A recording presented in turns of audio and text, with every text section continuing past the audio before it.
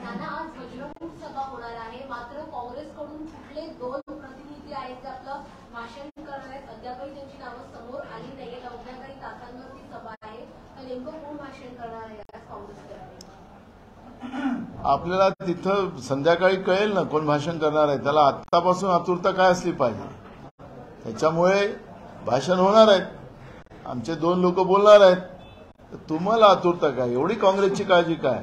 मला तर हे कळत नाही की आज महाराष्ट्रामध्ये बाजार समितीमध्ये बीजेपीचं पानिपत झालेलं आहे. सरकारचं शेतकरी विरोधी धोरण गरिबाच्या विरोधातलं धोरण महागाई वाढवली त्याच्या विरोधात जनतेने मतदान केलं बाजार समितीत.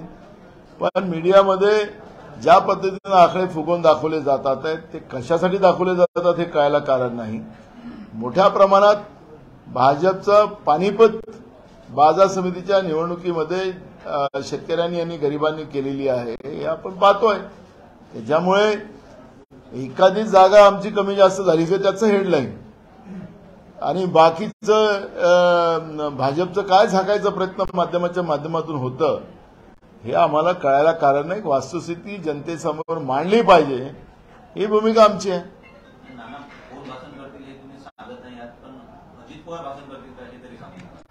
अरे बा त्यांच्या पक्षातलं आम्ही काय सांगायचं? मला एक कळत नाही. आखरी त्यांच्या हो आम्ही त्याला बघा तिथं प्रत्येक दोन दोन दोन लोकांनी भाषणं द्यायच्या तिन्ही पक्षाच्या. त्याच्यामुळे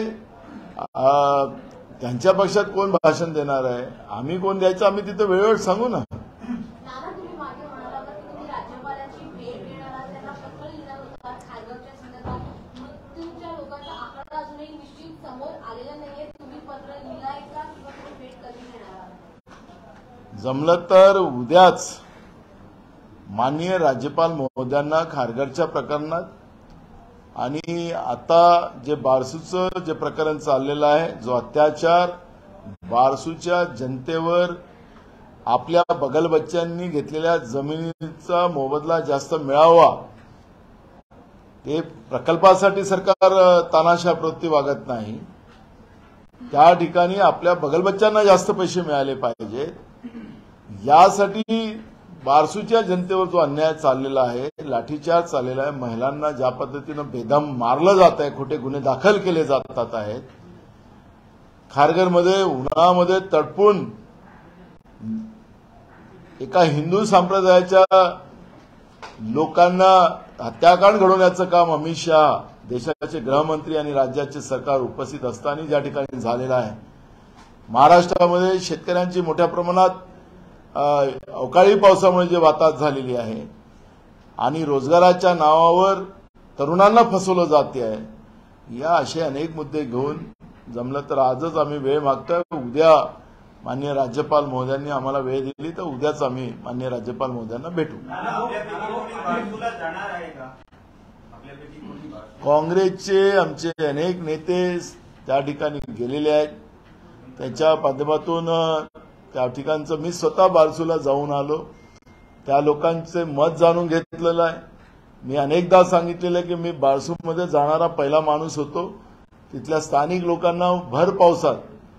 तिथले महिला असतील बुजुर्ग असतील युवक असतील लहान मुलं असतील हजारोच्या तादादमध्ये पावसामध्ये भिजत असताना ते सांगत होते की आम्ही निसर्गाला आमच्या कोकणाचं आम्ही निसर्गावर प्रेम करणारी लोक आहोत. या ठिकाणी जो प्रकल्प होत आहे तो आमचा निसर्गच संपवणार आहे. त्यामुळे आम्ही हा प्रकल्प होऊ देणार नाही. आणि जे काही समर्थन करतात आहे त्या ठिकाणी त्या बगल बच्चांनी एका पत्रकाराचा सुद्धा खून करायला ते मागं पुढे पाहिले नाही. आणि हा सरकारला एवढी घाई का झाली? हा सवाल त्या ठिकाणी आहे. कोकणाच्या विकासाच्या नावानं आपल्या आपले स्वतःचे घसे भरायला पाप. खिशे तर भरलेच आहे त्यांचे आता. घसे भरायला हे लोक निघालेले आहेत आणि कोकणातलं पर्यावरण नाहीसं करायला निघालेले आहेत. हे खपवून घेणार नाही काँग्रेस. आम्ही बारसूच्या जनतेच्या पाठीशी आहोत. त्या प्रकल्प हा जो विषय आहे रत्नागिरी जिल्ह्यामध्ये अनेक ठिकाणी खाली जागा आहेत. त्या ठिकाणी प्रकल्प घेऊन जावा. पण त्या ठिकाणच्या बारसूच्या लोकांचं जे प्रेम त्या निसर्गावर आहे त्या निसर्गाला उद्ध्वस्त करायला हे लोक निघालेत. आपल्या बगल बच्च्यांना जास्त पैसे मिळण्यासाठी अजिबात काँग्रेस याला मान्यता देणार नाही. आमची लढाई राहील.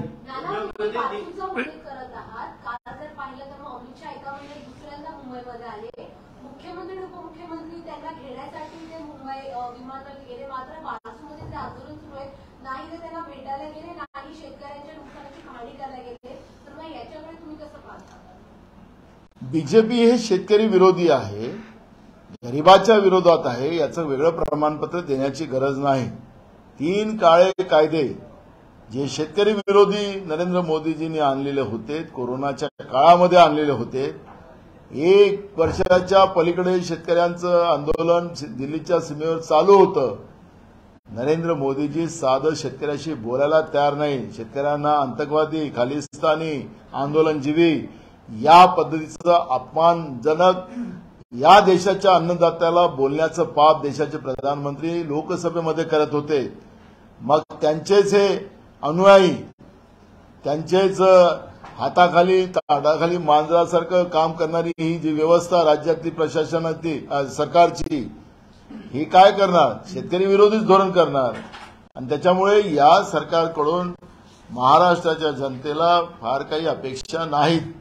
वज्रमुख्यमंत्री मुख्यमंत्री म्हणतात महाविकास आघाडी म्हणजे तीन तिघाडा काम बिघाडा आणि दोन लोक एकत्रित आले तर काय होतं? खोके होतात. त्यांना विचारा ना. त्यांना त्यांना कळत नाही की राज्याचे आताचे मुख्यमंत्री हे तीन तिघाड्यामध्ये होते. हे नव्हते तसं नाही. आता तोडफोडचं राजकारण इंग्रजासारखं. फोडा आणि राज्य करा. ही व्यवस्था भाजप करते. त्यामुळे याला किती मान्यता आहे? राज्याच्या जनतेमध्ये या सरकारच्या विरोधात प्रचंड चीड आहे. त्यामुळे आता सत्तेत आम्ही वारंवार सांगतो की चुकून एकशे पाच आमदार भाजपला पहिल्यांदा लोकांनी निवडून दिलेत. त्याचा परिणाम आहे की महाराष्ट्राची सातत्यानं बदनामी करण्याचं पाप जाणीवपूर्वक भाजप करते आहे. महाराष्ट्राला लुटून गुजरातला देण्याचं पाप भाजप करते आहे. हे महाराष्ट्राच्या जनतेला माहीत आहे. अनेक उद्योग गुजरातमध्ये पाठवलेत. या राज्यातले राज्याचं पाणी गुजरातला पाठवलं. आणि त्याच्यामुळे महाराष्ट्रातली जनतेनं एक मोठी चूक बीजेपीला एकशे पाच आमदार निवडून आणि त्यांचे अनेक खासदार निवडून केलेली आहे हे महाराष्ट्राच्या जनतेला आता समजायला लागलेलं आहे. आणि त्याचे परिणाम आहेत की जे काही सर्वे आता बीजेपी करते आहे. तावडे कमिटी असेल पण तावडे कमिटीपेक्षा जे त्यांनी एका संस्थेला जे सर्वे करायला दिलं फक्त सात खासदार जास्तीत जास्त बीजेपीला दिसते आहे. आणि म्हणून ही सगळी तळमळ चाललेली आहे भाजपची. की आता सत्तेच्या बाहेर जायची वेळ यांची आलेली आहे. नाना भाऊ, नाना भाऊ, एक गोष्ट पाहायला मिळते. एक- एक- एक- एक- एक- नाना भाऊ, एक गोष्ट या ठिकाणी पाहायला मिळते की महाविकास आघाडी जरी एकत्र आहे मात्र अं, राधाकृष्ण विखे पाटलांनी हे स्पष्ट केलं आहे की राष्ट्रवादी काँग्रेस पक्ष हे फुटीच्या उंबरठ्यावर आहे. म्हणून ते आता मुख्यमंत्री मुख्यमंत्री असं बोललं जातं मला त्यांच्या आतलं काही माहिती नाही त्याच्यामुळे मला त्या पक्षाबद्दल बोलायचं काही कारण नाही उदय सामंत आज मागच्या दहा दिवसामध्ये तिसऱ्यांदा शरद पवारांची भेट घेत आहेत ही भेट बारसून अं, घेत असल्याचं बोललं जातंय मात्र सत्तासंघर्षाचा निकाल जवळ आहे आणि या भेटी बघून काही वेगळी गणित मानली जात आहेत का? सुद्धा चर्चा. आम्हाला त्याच्या काय आपसात मिटिंग होत आहे काय नाही त्याच्याबद्दल आम्हाला काय बोलायचं कारण नाही. आम्ही बारसूच्या जनतेबरोबर जनतेबरोबर काँग्रेस पक्ष आहे. त्यांच्यावर होणारा अत्याचार आम्ही सहन करणार नाही. तिथला पर्यावरण नष्ट करायला हे लोक बीजेपी आणि ईडीचं सरकार लागलं असेल तर ह्या हे पाप त्यांनी करू नये. कोकणाचा माणूस हा तिथल्या पर्यावरणावर प्रेम करतो. तिथली कोकणातली संस्कृती आहे. निसर्ग प्रेम आहे. हे निसर्ग प्रेम कोकणाच्या लोकांकडून दूर करण्याचं पाप. महाराष्ट्रातलं ईडीचं एकनाथ शिंदेचं फडणवीसाचं बीजेपीचं सरकार करत असेल तर हे मोठं पाप आहे. आणि हे त्यांनी करू नये हा सल्ला आमचा त्यांना. हो, खेलो इंडियाचा सहभाग घेऊन सरकारने याबाबत खूप जाहिरातबाजी केली. आणि तेच सरकार आज अनेक बॉक्सर जे आहेत ते जनता मंतरला बसले मिशन यांच्यावर कारवाई करा अशी मागणी केली आहे. काल प्रियंका गांधी भेटले अरविंद केजरीवाल भेटले. मात्र त्यावर कारवाई होते. एकीकडे खेलो इंडियाचा नारा देतात तर दुसरीकडे अत्याचार अन्याय जर झाला तर त्याला कुठे वाचायला कोण? सरकार फक्त दिखावा करतो. खेलो इंडियाच्या माध्यमातून आपली प्रसिद्धी करणं हा सरकारचा उद्देश होता. त्यांच्या सगळ्या ज्या आतापर्यंत साडेनऊ वर्षामध्ये नरेंद्र मोदीच्या सरकारचं जेवढ्या काही ऍक्टिव्हिटीज आपण पाहिल्यात त्या ऍक्टिव्हिटीज ह्या फक्त दिखाऊ होत्या जनतेच्या पैशाची लूट होती हेच आपल्याला निदर्शनास येतं. आणि आपण एक गोष्ट पाहिली असेल की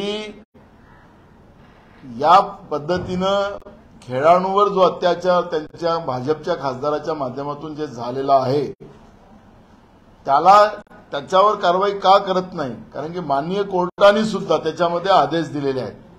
पण अजूनपर्यंत सरकार त्याच्यावर कारवाई करत नाही. त्याचं कारण असं आहे की या पद्धतीचं पाप करायचीच भूमिका ही भारतीय जनता पार्टीची आहे नरेंद्र मोदीच्या सरकारची आहे. आणि म्हणून त्या ठिकाणी दिल्लीच्या ठिकाणी खेळाडू आंदोलन करत असताना सुद्धा भाजप आपल्या खासदाराला नरेंद्र मोदीचं सरकार आपल्या खासदाराला गुन्हे दाखल करू देत नाही आणि त्यांचं ऐकलं जात नाही. काल मन की बातच्या याच्यामध्ये नरेंद्र मोदी त्याच्यावर बोलतील. अशी अपेक्षा त्या खेळाडूंची होती देशाच्या जनतेची होती. पण पुन्हा शंभरव्या मन की बात मध्ये पुन्हा फेकूगिरी केली असंच पद्धतीचं सगळ्यांचं मत याच्यामध्ये आहे. एक एक सवाल आहे. नाना भाऊ एका भाजपच्या नेत्याने रात्री तीन उशिरापर्यंत एका बारमध्ये थांबले आणि त्या ठिकाणी पोलीस कारवाई करायला गेले मात्र त्या ठिकाणी पोलिसांनाही हजर व्हावं लागलं. अशा परिस्थितीमध्ये कायदा सुव्यवस्थेचा प्रश्न निर्माण होतो. आणि जे लोक देवेंद्र फडणवीसच्या जवळचे आहेत अशा लोकांना याबाबतीत शरण मिळत असं? भाजप हे गुन्हेगाराचा पक्ष झालेला आहे. भाजपची मानसिकता ही गुन्हेगारी आहे. आणि त्याच्यामुळे महाराष्ट्रामध्ये गुन्हेगारीचं प्रमाण वाढतंय देशामध्ये मोठ्या प्रमाणात वाढते आहे आपण युपीमध्ये पहा तिथे तेच चालत आहे. कुठल्याही राज्यामध्ये जिथं जिथं गुजरातमध्ये गेला तिथंही तेच चालत आहे. आणि म्हणून कर्नाटकमध्ये सुद्धा आता लोकांनी तो मानस बनवलेला आहे की त्यांना सत्तेच्या बाहेर करायचं आणि म्हणून दीडशेच्या वर काँग्रेसच्या जागा येतात. त्याचं कारणच असं आहे की महाराष्ट्रातही सुद्धा देवेंद्र फडणवीस त्यांच्याकडे ग्रह खात आहे. आणि त्यांचे बगलबच्चे त्यांचे आमदार या गुन्हेगारी प्रवृत्तीमध्ये काम करताना आपण पाहतो आहे आपल्याला एक सगळ्यात मोठी घटना ज्याचा आम्ही विधानसभेत तो मुद्दा उपस्थित केला सदा सरवणकरांचा त्याच्यामध्ये बंदुकीच्या गोळीनं बंदुकी बंदूक ही सदा सरवणकरची होती. तिथं जे फायरिंग झाली होती फक्त ते सदा सरवणकरांनी केली नाही. अशा पोलिसांच्या तपासामध्ये आढळलं याच्यासारखं बेकूफ बनवण्याचं काम महाराष्ट्राच्या जनतेला एक फडणवीसाचंच सरकार करू शकतं असं आम्हाला वाटतं. आखरी विधानसभेत आम्ही मुद्दा उपस्थित केला. एक थातूर मातूर गुन्हा दाखल केलाय. म्हणजे एखाद्याचा जीव जाईल आणि त्याचं बंदुकीचा मिसयूज करण्याचं काम त्यांचा आमदार करत असेल खोक्याचा आमदार करत असेल आणि त्याला हे माफ करत असतील तर हे गुन्हेगारी प्रवृत्तीला ताकद देण्याचं काम दे- करतात आहेत. हे आपल्याला स्पष्ट होतं.